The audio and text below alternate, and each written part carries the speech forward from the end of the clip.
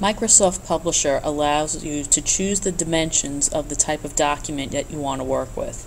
By default, when you open up Microsoft Publisher, you're going to see it assumes you want to work with a blank 8.5 by 11 piece of paper. But if we move over a couple of icons, you're going to see something that says more blank page sizes. And when we click on that, you're going to see a number of different pre-created page sizes that you can choose from. But for this example, we want to work with a poster size, so we want a little bit bigger. You will see some custom ones that I already created, and over here in the custom area where it says create new page size, you can actually set the dimensions of the size poster that you want.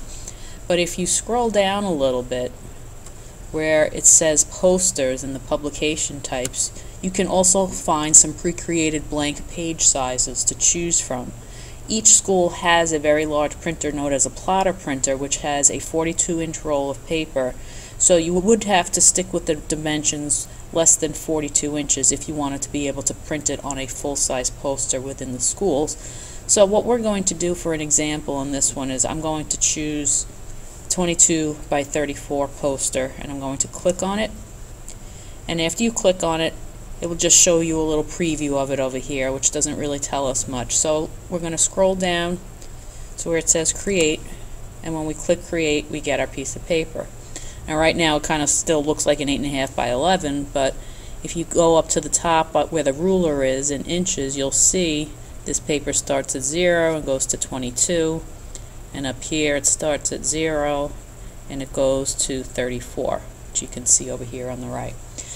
If you needed to adjust the page sizes after you've already created it and you want to make it smaller, you want to make it larger, you can click over here at the top tab where it says Page Design.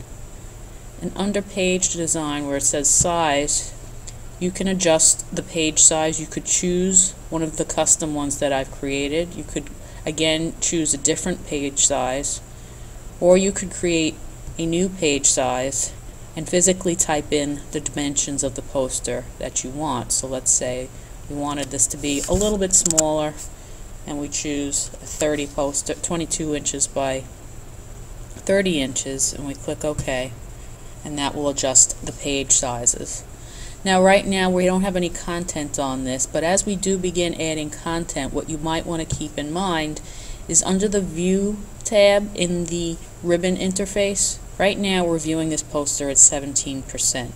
As you begin to add text and clip art and everything to your poster, you may need to zoom in and zoom out.